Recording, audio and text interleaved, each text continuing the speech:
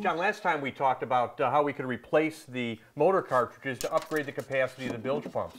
Today, I'd like to talk about how to automate these bilge pumps using a variety of our float switches that we have available from Johnson Pump. What are the different categories of float switches, Greg? We've typically designed, again, mercury-free float switches, uh, good, better, and best. There's our traditional flapper float switch, which uses a micro switch technology. There's our electromagnetic switch, which uses a reed switch technology.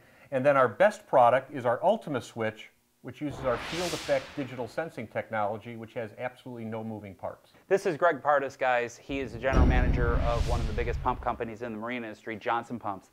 Sh show everybody, like on this digital float switch, how it attaches to your housing. This is what is so unique about Johnson Pumps. Kind of everything goes right here. Show how that attaches.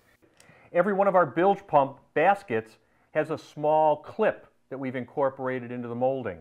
All of our float switches have a slot in the back of the float switch. Which this allows you to do is virtually clip the float switch onto the bilge pump basket. Not only does that properly orient the float switch to the bilge pump for maximum effectiveness, but also creates a very small footprint in the bottom of your bilge. Guys, look how efficient this would be if you put this down into the bilge and look at how much water that would evacuate out. That is just absolutely fantastic.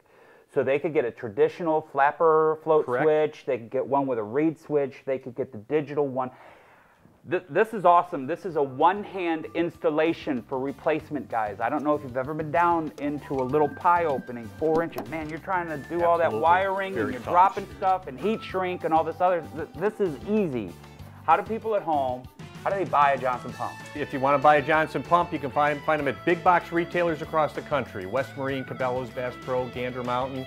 Also available through dealers across the country uh, that carry our product as well as online sites.